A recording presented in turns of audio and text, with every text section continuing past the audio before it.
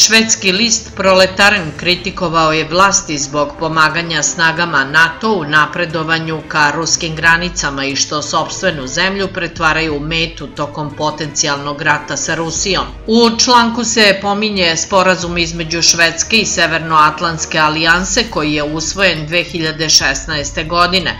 Taj sporazum omogućava vojsci NATO i SAD da koriste švedsku teritoriju za vojne operacije, Novinari proletarena naglašavaju da se stav zvaničnog Stokholma nije promenio tokom poslednjih pet godina.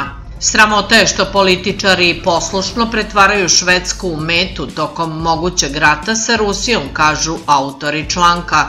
Prema rečima autora, želja Amerike da opkoli Rusiju je zabrinjavajuća, Redovne vežbe sa partnerima i saveznicima alijanse u Evropi proširuju poziciju NATO prema istoku svaki put bliže Rusiji, rekao je on. Novinar je istakao da su pravi agresori upravo Sjedinjene američke države i NATO.